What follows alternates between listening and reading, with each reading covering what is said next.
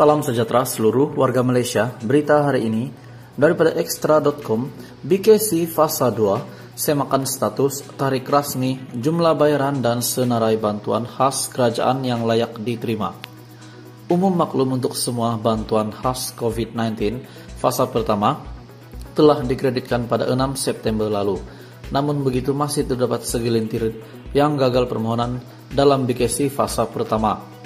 Justru ramai yang berasa lega apabila kerajaan mengumumkan akan melanjutkan bantuan BKC fasa 2 dan BKC fasa 3. Berikut merupakan tarik bayaran BKC fasa kedua.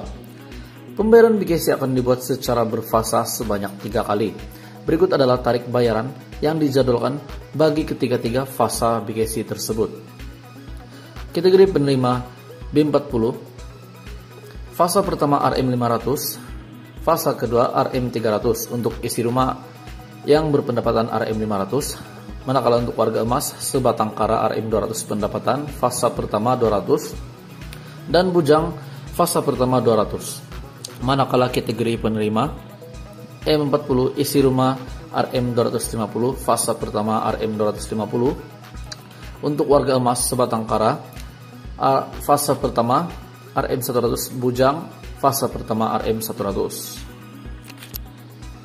Untuk BKC fase kedua adalah akan diterimakan ataupun akan dikreditkan pada November 2021. Manakala BKC fase 3 Desember 2021. Penerima bagi setiap fase BKC adalah seperti berikut.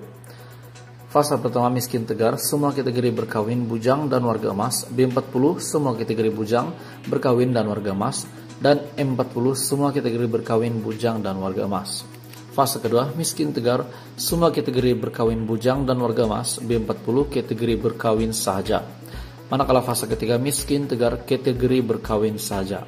Semakan status BKC fase kedua, orang awam boleh membuat semakan status kelayakan BKC melalui dua cara. Yang pertama, layari laman sesawang bkc.hasil.gov.my, portal resmi BKC, hanya boleh dicapai mulai 6 September.